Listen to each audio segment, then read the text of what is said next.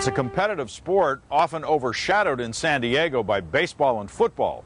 Table tennis, or ping pong, has quite a following here, with more than 600 players in the San Diego Table Tennis Association. Jessica Chang brings us the story of one man who's dedicated his life to the sport and has the ultimate ping pong passion. This is where you'll find the top table tennis players in San Diego. Some teenagers here rank among the best in the country.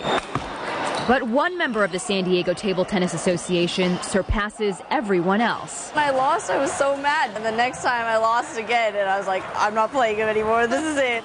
I had known that he's beat a lot of people before. The man to beat is 86 year old Fred Borges, the oldest player in the club. At first glance, he may seem pretty defenseless. But with 75 years of experience, Fred's no average old man when it comes to table tennis. I still beat a lot of people uh, with a lot of uh, tricks that I have. Those fancy spins, strokes, and shots ranked him number nine in the nation during his prime. It's the fact that I could go anywhere where they play the game and say, I want to play your best player, and have them tell me, as they did many times, well, don't bet on it because this guy's a shark.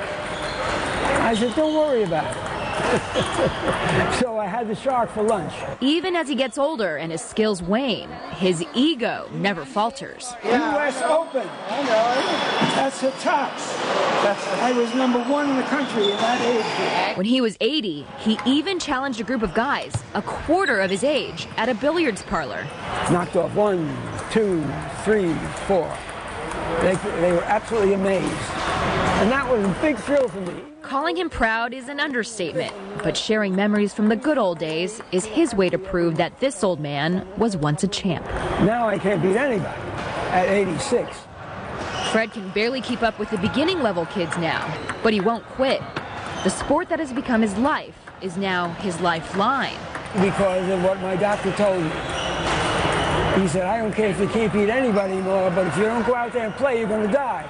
And that was very convincing. I would imagine. his feet slow him down now, but his mind and hand movements are still sharp. So now he prides himself on another one of his talents. I'm one of the best teachers in the world at everything that I do. He's passing on his ping pong passion Good shot. to kids at different rec centers in San Diego. I can see that when I give them lessons, they're learning about 10 or 20 times as fast if I just let them alone. When the ball comes over here, Yeah. you're going to lean forward. So it's a backhand. Yeah. Within 10 minutes, his lessons even helped me improve dramatically. You won your first point. Yay! I love teaching, and I love seeing my students get better. If I beat them, it's because I'm very good. If they beat me, it's because I'm a great teacher. So I win either way.